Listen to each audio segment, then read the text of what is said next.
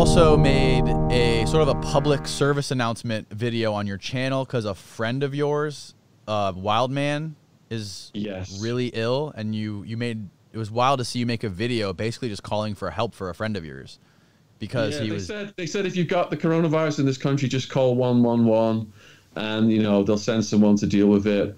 And he spent two hours on the phone calling one one one, and he couldn't. All he was getting was recorded messages. So we were trying to get him into the hospital, and then he just started saying that. Um, there were people in more serious need than him. He didn't want to go to the hospital. He was just going to tough it out.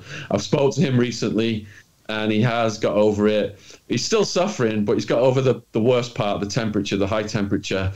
And um, he said he just he drank cider continuously, apple beer. what? I'm not recommending that as a cure for coronavirus. But he's a monster. He's 26 stone. He's a huge guy. He survived Arizona prison and many other things. And he's a wild man by name and a wild man by nature. He just drank apple beer cider all the way through it. He said it was the best thing for his throat. It calmed his throat down. Holy shit!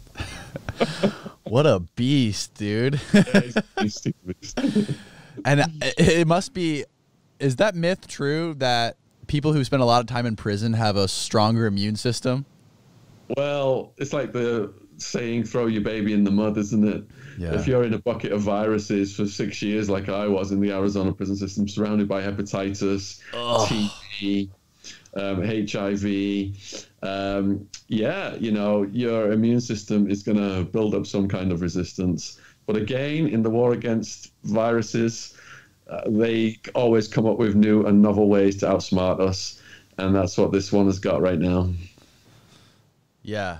And another thing with you guys in the UK is don't you guys have an extremely large population of homeless? Like over 300,000 homeless people living in the UK that are It was, it was so sad when I went for groceries and I just this guy just looked up at me from the street and just helpless look on his face and I just thought to myself, you know, the, the people that have got the health insurance and have got the most money, people like Prince Charles who was just diagnosed with it, they tested him right away, you know, no Yeah. problem there whatsoever. Right. But these these guys at the bottom of the social pyramid, they're going to get hit the hardest. And then you've also got the countries like Africa, where it's only just starting out. So in Ethiopia, for example, they have one doctor for 10,000 people. So imagine what, how it's going to tear through those countries. Yeah, luckily I don't think there's many cases in Africa right now, are there? I don't think there are. I think I saw like It's just, it's just starting. it just started in Africa. It's like a fire. So China's managed to put the fire out, but that's just one room in the house. So if you've got three other rooms on fire, that's not an improved situation on the whole. And then a week later, the streets on the fire. That that's just what we've seen with this. Well, China's been able to just kind of like to level out the curve, right? They haven't really Yeah. they've just stopped from increasing in their death rate. They're it's just they flattened out, is that right? Yeah, with a pandemic, um, a, a major pandemic, they come in waves. So your first wave, it has a curve, and then it flattens out. And then the virus, it can appear to go away. It can move around the world. It can lay low, and then a second wave occurs, and another curve arises. Right. And for the duration of the waves, you have a series of curves. Mm-hmm. And like Trump says it goes away with the warmer weather. Well, that's what happened with the Spanish it's flu. in it's summer in Australia right now, and that's where Tom Hanks got it. So Holy that's shit, another yeah. myth. When something happens that's a disaster to you personally or to society, you go through various stages of adaptation. I'm going to start to do videos about coping with lockdown here in the next couple of weeks with my advice and the advice of other prisoners. So when I first got arrested and I'm put in the jail, I'm in a state of shock you know, heads are getting bashed against toilets, bodies are getting thrown around, and prisoners are coming up to me saying, "You got to get that look of shock off your face, or else you're going to get preyed on."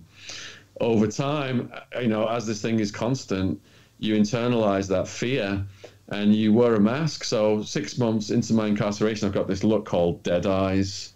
If I show any fear at all, you know, it, it, it's going to get exploited. Um, inside, I'm still a bit, a bit nervous, but over time, I'm becoming more accustomed to that environment.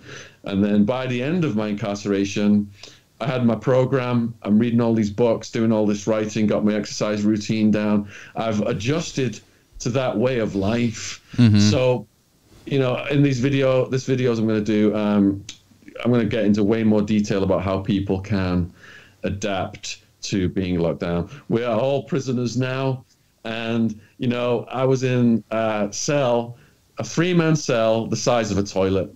So I got to listen to guys shit and piss and smell his farts, and 24/7 Yeah. but you know we're locked down now in our own houses. I didn't have Netflix. We got Netflix. We got all this YouTube. You got everything Skype, Um, Uber yeah, Eats. people are freaking out. I understand because it's it, it, we have not experienced anything like this in our lifetimes. But the shock once it wears off, you start to adjust, and hopefully I can do some videos to help people with that adjustment process.